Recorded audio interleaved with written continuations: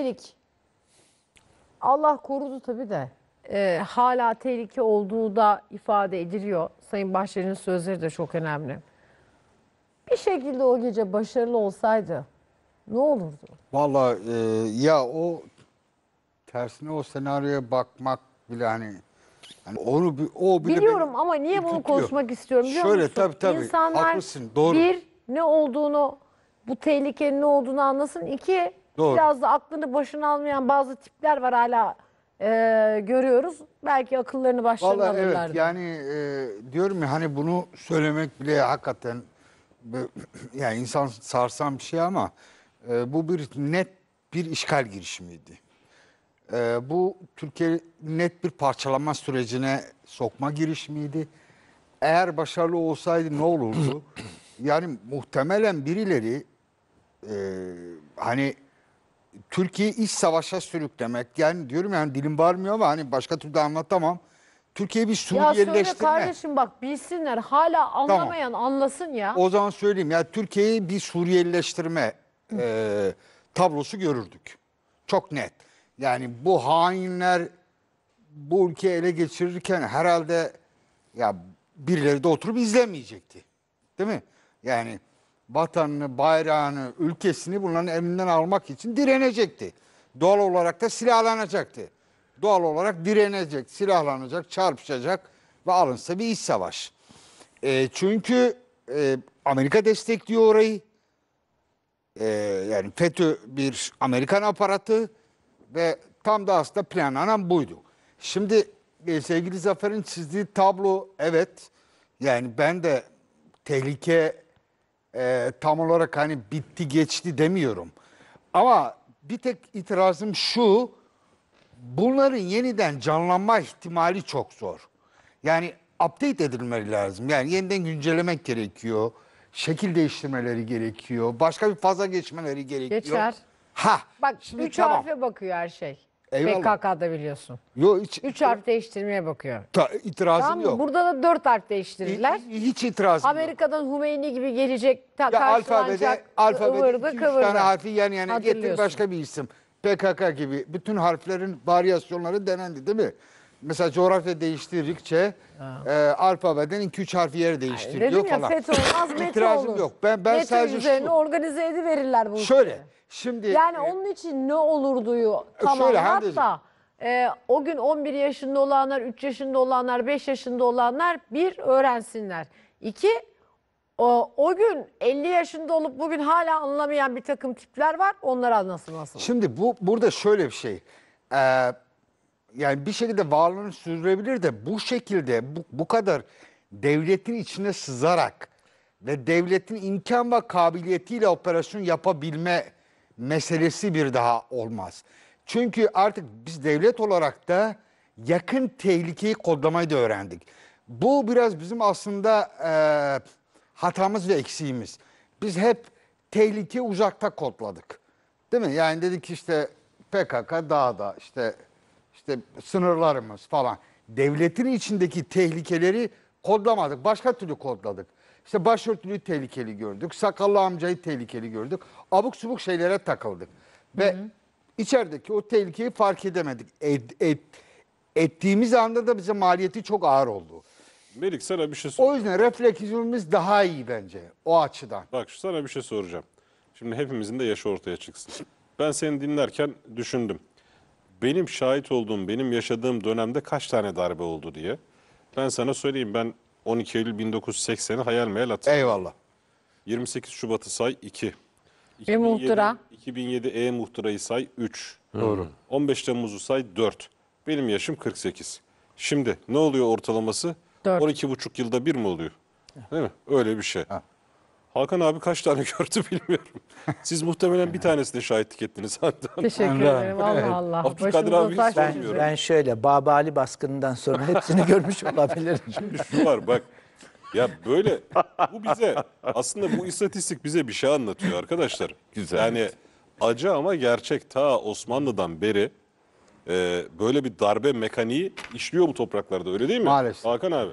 Maalesef. 36 padişahtan 12'sinin e, tahttan tahta gelişi ve tahta indirilişine bak. Darbeyle aynen. Darbe benzeri olaylar oldu. Bir alt Bir yazımızı, çeşit darbe ya. alt yazımızı O da oku o dönemin kendine darbesi, soruyu doğru. sor o zaman. Ha. Yani şimdi Yeniçeri FETÖ darbesi. kimlerin idam emrini vermişti? Yani Yurtta Sulh Konseyi diye bir konsey vardı. Bu konsey aydınlatıldı mı? Kimler kim kim kimleri idam edeceklerdi? Kimleri öldüreceklerdi? bu sorunuza cevap vereceğim. Programdan sonra size iki çift lafım var. Bir izleyici yorumuyla Sen beraber. nedense ben buna bugün hiç yanıt Ya vermiyorsun. şimdi bak bir şey söylüyoruz. Darbe mekaniği diyoruz. Sen diyorsun ki altyazıyı oku. Tamam onu da, E, padişahları bahsettin. Bak onu da şimdi. okuyacağım. Ay padişahlardan bahsedince e, orada e, Hande şöyle. ölümleri hatırlayınca Yok, ben de diyorum şöyle. ki sana FETÖ kimlerin ölüm O- ida- e- e- emrini vermişti? Şu arkamızdaki Boğaz, güzelim İstanbul. Bak dünyanın en kıymetli mülkü üzerinde oturuyoruz. Burası sadece fiziki güzelliği olan bir yer değil. Burası stratejik bir yer. Dolayısıyla bura bu önemde oldukça bu enerji yatakları, dünyadaki güç savaşı enerji üzerinden şekillendikçe bu ülke hep önemli olacak. Bu ülke hep güçlü olmak zorunda. Bu ülkede güçlü bir siyasi liderliğe ve güçlü bir orduya her zaman ihtiyaç var. Dolayısıyla bu darbe tehlikesi hiç geçmez. Nasıl Osmanlı'da da hep böyle şeyler olduysa biz Cumhuriyet tarihi boyunca da her 10 yılda bir ortalama darbeyle karşı karşıya kaldıysak olma ihtimali her zaman vardır. O benim çok sevdiğim bir film var Nefes diye. Orada komutan askerlerine diyor ya uyuma diyor. Uyursan diyor ölürsün diyor. Öyle yani. Bu bu toprakların gerçeği, realitesi o. Bu arada Yani bu darbe şeyi okuyayım mı tehlikesi Zafer? geçti, geçmedi. Ölüm emri verilmiş Evet. 50 kişinin Evet. ilk 15'i okuyayım Buyurun size. dinliyoruz. Evet lütfen. Sizdeki listeyle aynı mı Evet. bilmiyorum ama. Buyurun. 1. Tayyip Erdoğan 2. Binali Yıldırım 3. Efkan Ala 4. Hakan Fidan Aynı liste değil mi sizdeki? Devam edelim evet. Doğru yani. 5. Berat Albayrak 6. Melih Gökçek 7. Bekir Bozdağ 8. Süleyman Soylu 9. Mehmet Yılmaz 10. Naci Ağbal Çağatay Kılıç Mustafa Varank Recep böyle devam ediyor. Okuyayım mı hepsini? Faruk Çelik Yok yani Mehmet yani Yarın. Devlet aslında- Bahçeli var. E tabii şimdi Devlet, Devlet Bahçeli, Bahçeli, de olur. Ümit Özdağ da 18. sırada bu arada. Yani işte öyle düşünün. Örgüte, örgütün ne olduğunu bilen sonuna kadar savaş açmış. A'dan Z'ye hedefindeki kim varsa var. O listede güncellenmiştir.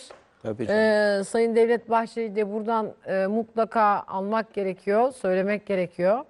En başından beri örgüte karşı duruşuyla, e, örgüt e, sözde örgüt e, üyelerini kovuşuyla, hiç taviz vermeyişiyle e, inanılmaz bir liderlik göstermiştir en başından beri. Bunun da altını ben çizeyim yani. bir iki noktayı eklemek istiyorum. Bakın şimdi bu dönemlerde bazı isimler çok ön plana çıkıyor ama bazı isimler de unutuluyor, hakları yeniliyor. Mesela meclisi toplayarak darbeye karşı direnen ki o mecliste MHP'lisi vardı, CHP'lisi vardı, AK Partisi Herkes vardı. vardı canım. İsmail Kahraman.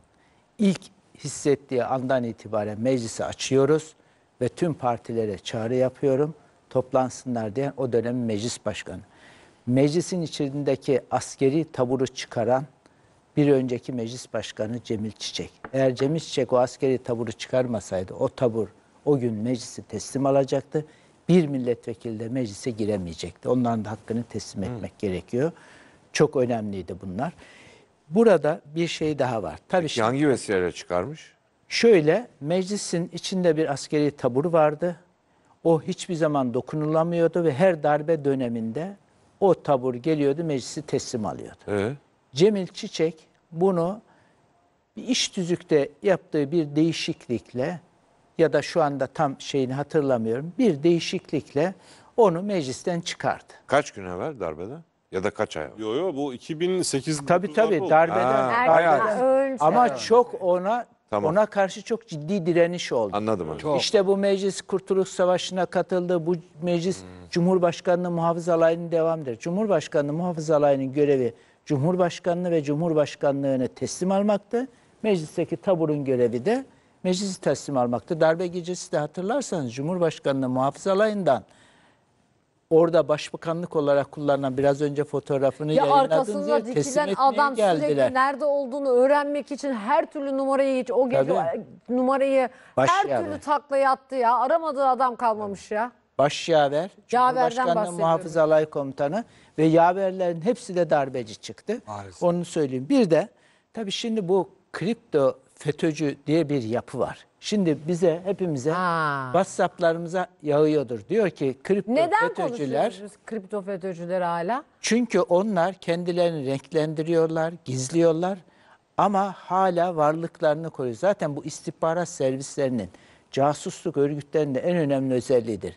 Tehlike olduğunda deşifre olmayanlar kendilerini başka şey şekilleri alarak yaşatmaya yani uyumaya geçerler. Kripto FETÖ'cü gerçeği nerede çıkıyor? Ya FETÖ'cüleri darbeden sonra FETÖ'cüleri tespit etmek için oluşturulan komisyonda bile kripto FETÖ'cüler çıktı.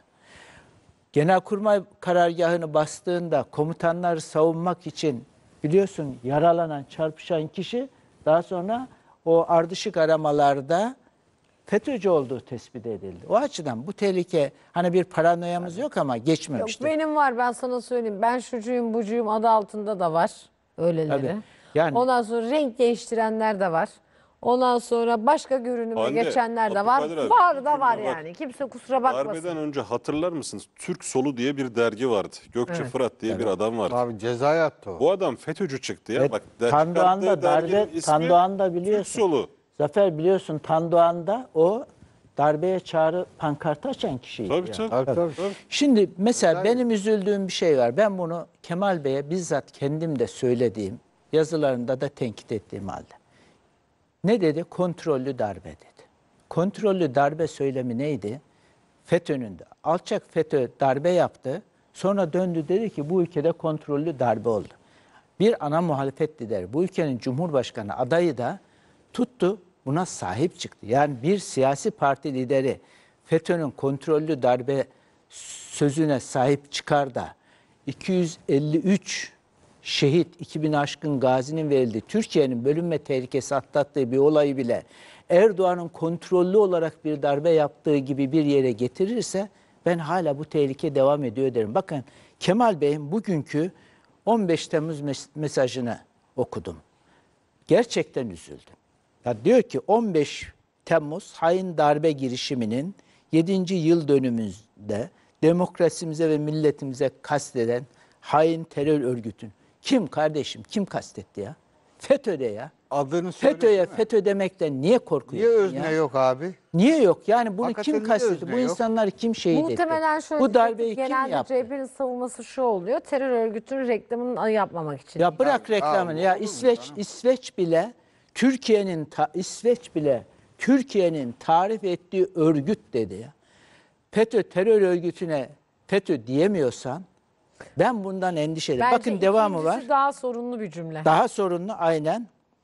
Aynı menzile yürüyen demokrasi karşıtı yapıların çıkar çatışmasının ülkemizi 15 Temmuz karanlığına sürüklediğini, hangi hedefe yürüyen çıkar çatışması içerisinde olan yapılar ülkeyi 15 Temmuz'da Asıl o lafı. karanlığa Asıl o yürüttü? lafı. Evet, çok önemli. Ben de ben de asıl sorunlu cümle dediğim Yani bu. kardeşim bu ülkenin bu ülkede savaş uçaklarıyla bu ülkenin parlamentosunu bombalayan, Cumhurbaşkanını ele geçirmeye çalışan, Genelkurmay Başkanı, kuvvet komutanlarını etkisiz hale getiren, Devamı da. 251 insanımızı şimdi sayı üç- 253 olmuş şehit eden, 2000 insanımızı gazi eden ve ülkeyi bölünme tehlikesinin içine sürükleyen ve milletin bölünmekten son anda kurtardığı bir darbeden söz ediyoruz. İki taraf ne ya? Bir darbeci var, bir darbecilerle mücadele eden var. Sen darbecilerle mücadele eden bu milleti, demokrasiye sahip çıkan bu insanları nasıl darbe yapanla Evet, aynı... bir, bir taraf halkın seçtiği demokrasiyle seçilmiş bir iktidardan bahsediyor. Aynen öyle Ya yani. tabii o eşitleme Yani bu olunca tabii sen darbe mukayese- Bu, bu taraflara itidal çağrısında bulunmaya benziyor anlatabiliyor muyum? tabii tabii Aynen. doğru eşitliyor. terör örgütüyle devlete ama yani itidal çağrısı Dramatik. yaparlar. İki taraf silah bırakır. Kardeşim devlet silah bırakmaz. Terör örgütü silah bırakır. İki tarafın çatışmasıymış. Ya se- Hakan abi çok güzel bir noktaya değindi. Seçilmiş, meşru, demokratik bir iktidara karşı darbe yapılmış. Devlete karşı darbe yapılmış. Sadece iktidara karşı değil. Mesele devlet Sen darbe abi. yapanlar Zaten- darbeyi önleyeni bir tutuyorsun. Zaten orada Aynı devleti şekilde yargılıyor. çökertme Yani mesele ben mesela dedim ya hani benim en büyük hani onurumdur açılış anonsu Tabii ki. yaptığımda. Mesele Erdoğan AK Parti meselesi değil. Hepimizi rehin almak istiyorlar derken tam da senin söylediğin şey. mesele devleti çökertmek. Tabii tabii. Doğru. Kadir abi devleti çökertmek. Aynen. Erdoğan orada bir semboldür. Yani mesela e, sevgili Hande söyledi ya mesela Sayın Devlet Bahçeli hakikaten hani e, hani önünde saygıyla eğiliyorum. Tereddütsüz hemen e, şeye e, darbeye karşı direniş çağrısı yaptı ve sabaha kadar da genel merkezden ayrılmadı. Şimdi mesele bu. Üstelik o zaman MHP ile AK Parti muhalifti birbirine. Hani böyle bir Cumhur İttifakı falan yoktu. Evet. Kadir abi onu hatırlayalım. Tabii, tabii. Tabii darbeden yani sonra. muhalifti. tabii. Şu Hem de böyle sert muhalif. Ama söz konusu olan demokrasi kişi değil dedi yani. Ya şöyle Melik, darbe gecesi Bakırköy Belediye Başkanı'nın evinde ekrandan izleyeceğine Kemal Bey birimize telefon etseydi deseydi ki ben yayına bağlanacağım, darbenin aleyhine konuşacağım. Her yere deseydi, de bağlanırdı Abdülkadir her yere de bağlanırdı. Çok rahat. Ama biz şimdi ne diyoruz? O gece mecliste CHP milletvekilleri de vardı. Özgür Özel divanda Kendisi yer aldı. talimat verdi meclise gidin diye ama Ben buna saygı duyuyorum. Mesele Abi. tabii şu. Haklarını Bakın teslim Cumhurbaşkanı ediyorum. Ama bu yani kimse böyle bana bir kafa kızmasın, olmaz. küsmesin. Bir iki isim dışında Cumhurbaşkanı Erdoğan konuşana kadar kimse ağzını açmadı. Erdoğan konuştuktan Hani sonra Erdoğan konuştular. konuştuktan Şimdi, sonra da Kemal Bey konuşurdu. o, O, za- zaman ondan da sonra konuşmadı. da konuşmadı da.